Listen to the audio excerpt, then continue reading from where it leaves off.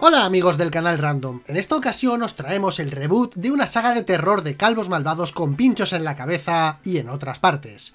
Así que hoy hablaremos de... Hellraiser 2022 Dentro vídeo. Estamos en Belgrado, donde dos personas random hacen un intercambio, dinero por una caja misteriosa. Estamos ahora en Massachusetts, donde se celebra una fiesta y Serena habla con un tal Joey, al que le dice que si quiere conocer al propietario de la casa, deberá ir al final del pasillo. Y bueno, que el mermado este va para allá y llega a una sala con un montón de objetos raros donde hay uno que le llama la atención. Así que empieza a tocarlo, eh, pues porque sí, porque es gratis. De repente llega el propietario, que es el señor Boyd, y le dice que el objeto es en realidad un rompecabezas. Así que el chulo piscinas le pregunta a Boyd si le dará un premio por resolverlo, y al trastear con el objeto se clava un pincho y empieza a sangrar. Boyd cierra las salidas, mientras tanto, unas cadenas atraviesan a Joy, y el objeto empieza a adoptar otra forma. ¡Ojo a esto! Cuando el trasto cayó al suelo había sangre alrededor, pero cuando Boyd lo recoge, la sangre ha desaparecido. En fin, que el chaval anda colgado como un chorizo, mientras Boyd solicita una audiencia al Leviatán. Seis años después, Riley presenta a su amiguito Trevor a su hermano Matt y compañía. Luego, la muchacha habla con su hermano porque este no quiere que ella salga con Trevor, y vemos que los aperitivos se mueven solos mágicamente. Como era de esperar, Riley no hace caso a Matt y vuelve a estar con Trevor. Podemos ver que la chotera tiene un collar rojo por dentro de la camiseta, y al cambio de plano lo tiene por encima, al igual que la medallita. Como no tienen dinero, Trevor le propone a la chica robar en un almacén. ¿Ves cómo era una mala influencia? Ya te lo advirtió tu hermano. Una vez dentro abren un contenedor y encuentran una caja fuerte. Como no saben la combinación, la abren a las bravas, y dentro encuentran la caja que vimos en Belgrado. Al abrirla ven un extraño cubo, y no les parece raro que haya manchas de sangre alrededor. En fin, que Riley se quedará el cubo mientras Trevor busca un tasador para saber su valor y venderlo. Riley vuelve a casa en plan abrazafarolas, y tras discutir con Matt, este la echa de casa. Así que la muchacha lo paga con el retrovisor de su coche, y luego se deshace de unas pastillacas que no sabemos qué son. Rayleigh recoge las pastillas y se las toma. Además, se lleva el cubo para intentar resolverlo como si fuera un cubo de Rubik, y tras probar varias combinaciones, lo cierra y está a punto de cortarse con una especie de cuchilla. De repente empiezan a salir cenobitas, que provocan que salgan unas cadenas de Riley que atacan a su hermano. Ah no, que era un sueño. Madre mía, ahora que iban a matar a alguien resulta que era una pesadilla. Ya sabéis chicos, no toméis pastillacas. Consejo random. Matt sale a buscar a su hermana, a la que encuentra en droga y nada y se corta con el cubo. Pero vamos a ver, alma de cántaro, ponte unas gafas que el pincho ese lo ve cualquiera. El cubo absorbe la sangre de Matt y se transforma, mientras se abre una especie de portal y cuando Riley va a buscar a su hermano, este ha desaparecido. Podemos ver que la chica tiene la mano por debajo de un dibujo, y al cambio de plano lo tapa por completo. La policía interroga a Riley y a sus compañeros de piso, pero no lo consideran una desaparición. Ya de vuelta a casa, Colin, el novio de Matt, le pide explicaciones a la chica y esta se vuelve a ir. Por cierto, en el reposabrazos del sillón donde está sentada la desaliñada hay un bolso colgado, y aunque las correas están juntas, hay planos en los que están separadas. Riley va a casa de Trevor buscando consuelo y... pepperoni, ¿eh? Pero entonces ve a un cenobita y... y no pasa nada, porque era otra visión.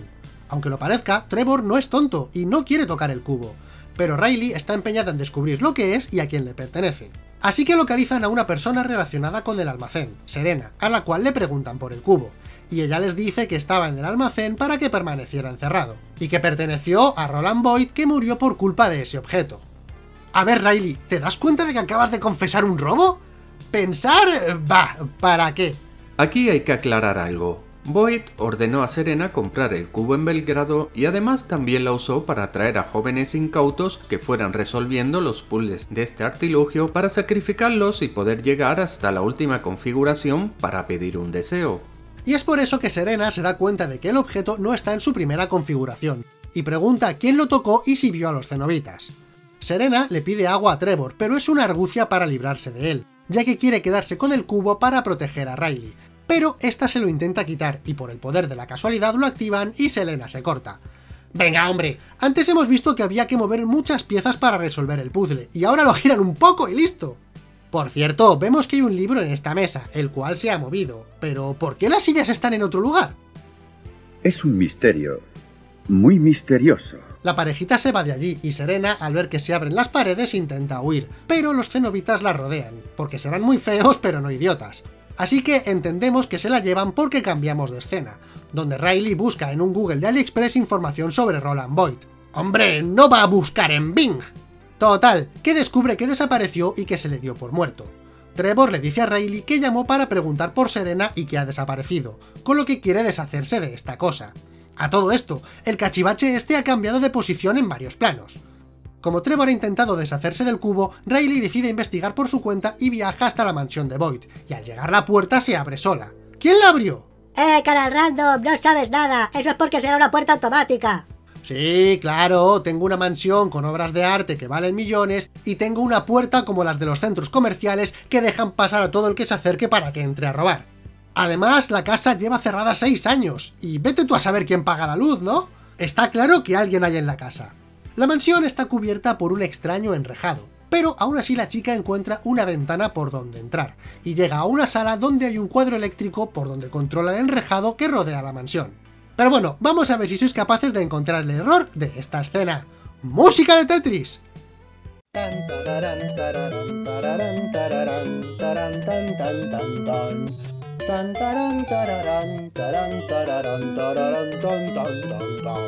¡Eso es! La mugrosa lleva colgado el bolso en su hombro izquierdo, y luego del derecho. ¡Realismo!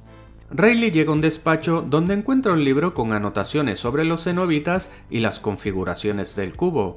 Luego, la chica oye la voz de su hermano pidiendo ayuda y lo encuentra, pero resulta ser una visión. Y por el poder de la casualidad aparecen en ese momento Trevor, Colin y Nora. ¡Claro que sí! ¡Qué oportuno! Riley le explica a Colin que al completar todas las configuraciones del cubo se obtiene una audiencia con Dios, el cual te concederá un deseo, entre los que está el de resurrección, pero para cambiar de configuración hay que hacer un sacrificio. Es decir, por si alguien no se ha enterado, el objetivo de la chavala es resucitar a su hermano al que cree muerto. Y por si no os disteis cuenta, el clip que hay en la página va cambiando de lugar, pues porque sí, porque hacerlo bien es muy difícil. Y de nuevo un problema, y es que el cubo ha desaparecido. Mientras tanto, Trevor habla con Nora, y vemos que hay una botella sobre la mesa, pero al cambio de plano la tiene este mamarracho en su mano derecha. Total, Nora ha encontrado otro cuadro eléctrico y descubre una puerta secreta. Pero la mermada se queda encerrada y le pide a Trevor que la saque de allí. ¿Qué pasa? ¿Cómo? ¿Quieto? Lo malo es que quien robó el cubo lo activa y le clava el pincho a Nora, la cual huye y encuentra una salida. Sus amigos intentan ayudarla y le quitan el cachivache de la espalda, Así que Riley se lleva el armatoste y suben a Nora a la furgoneta para trasladarla. Y si os preguntáis quién la atacó, pues fue Boyd. Esto hace que me pregunte muchas cosas. ¿Lleva seis años escondido en la casa? ¿Y si es así? ¿Qué come? ¿Quién le lleva la comida? ¿Cómo la compra? ¿Va Chucky en Uber a llevarle arroz tres delicias? El cubo se mueve hacia su nueva forma, señal de que vienen los cenobitas, y Nora se encuentra ahora en otro mundo donde unas cadenas la atrapan y allí, tras una hora de película, volvemos a ver a Pinhead. Riley se da cuenta de que se llevan a Nora y como se distraen, se chocan. Riley intenta tirar la caja al río, pero Pinhead se lo impide, y como la chica no quiere continuar, la calva le clava el pincho, y le dice que se la llevará a ella si no le entrega dos sacrificios más. Y fíjate por dónde a la muchacha le quedan dos amiguitos, qué casualidad. Pasemos por alto el hecho de que la tía no quiere sacrificar a sus amigos, porque vaya tela también, anda que yo lo iba a dudar. Si os está gustando este vídeo y queréis apoyar al canal, dadle al botón de gracias, hombre, y dejadnos una propinilla, que se agradece un montón. ¡Muchas gracias! Como Riley no quiere ofrecerlos, los cenobitas van a por ella, y un calvo malvado los deja atrapados entre la puerta y una pared. Pero en ese momento, Riley toma una decisión y le clava el pincho al cenobita cálvico. Pero bueno, que le agarran unas cadenas y el calvo revienta el cubo adquiere su penúltima forma, y nuestros amigos regresan a la mansión perseguidos por los cenobitas. Pero si ya tienen la sangre de Riley, ¿por qué no aparecen las cadenas de una vez y se la llevan? Es un misterio muy misterioso. Bueno, que la chica activa el enrejado y deja a los calvos malvados fuera. Trevor está mal herido porque fue mordido por un cenobita, y para aliviar su dolor encuentran unas pastillacas, pero como son muy fuertes las guardan para luego. ¿Qué? Colin se asoma para ver si siguen por ahí los cenobitas y se encuentra ¡Hola! Soy Samuel L. Jackson. Suscríbete ahora a la iniciativa Canal Random. Si no lo haces te pincho con el cubo. Mientras tanto, Riley y Colin divagan. Aparece Boyd que habla con Trevor, ya que resulta que todo era un plan en el cual Trevor tenía que alimentar la caja, ya que parece ser que a Boyd le pusieron un aparato extraño en el cuerpo que le causa un inmenso dolor y que los cenobitas no le quitarán hasta que la caja alcance la última configuración. Bueno, a ver, se la quitarán si lo pide como deseo. Riley tiene un plan, resolver el rompecabezas sacando el pincho y luego clavárselo a un cenobita random. ¿Qué podría salir mal? No veo fisuras en su plan. El caso es que atraen a uno de ellos y cierran el enrejado para que no escape. Lo malo es que el cenobita empieza a correr y la chica pierde la caja. Además, el calvo malvado queda atrapado. Entonces llega Boyd que apuñala a Colin. Podemos ver que agarra al chaval del hombro y luego tiene su mano bajo el sobaco. El perturbado este nos cuenta cuál fue el deseo que pidió hace 6 años. Resulta que eligió sensación. Y claro, lo que los cenobitas entienden como placer, mmm, no es lo mismo que quería Boyd, y le colocaron un aparato que le tira de los nervios y que no se puede quitar. A todo esto, que alguien me explique cómo puede vestirse con ese trasto atravesándole, porque ya hemos visto que se quita la ropa y se la pone como si nada. El artefacto ya está preparado y Boyd le dice a Trevor que abra el enrejado.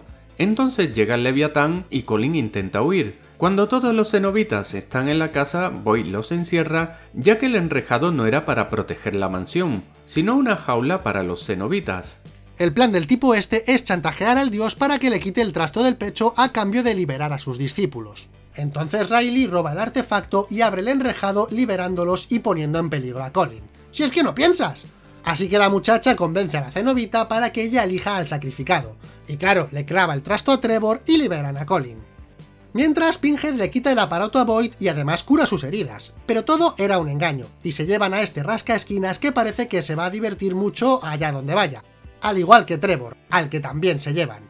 Llegó el momento de que Riley pida su deseo, y prefiere no resucitar a su hermano, con lo que los cenobitas entienden que ha elegido la configuración del lamento, ya que vivirá con dolor y sufrimiento por todo el daño causado. Así que deja el cubo y se va. Bueno, parece que a Colin también le parece bien que no haya resucitado a su novio. ¡Venga ya! ¿Roncaba por las noches o qué? ¿Y qué pasó con el bote de pastillacas? Siempre que en una película cogen alguno, luego tiene una utilidad el archiconocido arma de Chekhov. ¿Y por qué dejar el cubo y no deshacerse de él para que nadie tenga que volver a pasar por esto? Menudo arrepentimiento, ¿eh? Irresponsable.